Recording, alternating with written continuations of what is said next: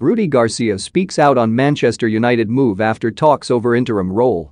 Rudi Garcia has remained tight-lipped over his future after holding talks with Manchester United over their interim job.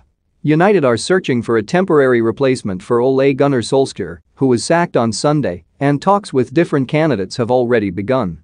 Former Barcelona boss Ernesto Valverde has already been approached, but United have also had discussions with Garcia before Michael Carrick took charge of the team for the 2-0 victory over Villarreal in the Champions League on Tuesday evening. The 57-year-old, who won the league and cup double with Lille in 2011, has been out of work since leaving Lyon at the end of last season. When asked about his link with United, Garcia told Canal Plus, I'm already there in Manchester laughs.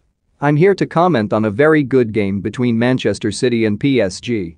In all seriousness, I don't usually comment on rumors in my career. I won't say anything about it. Manchester United are one of the biggest clubs in the world. I neither confirm nor deny anything.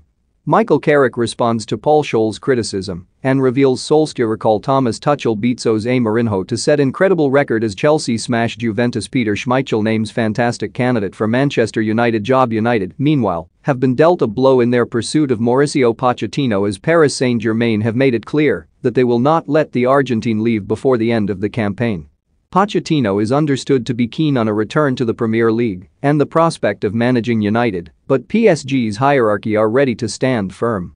Zinedine Zidane, however, has made it clear to PSG that he would be willing to take over if Pochettino did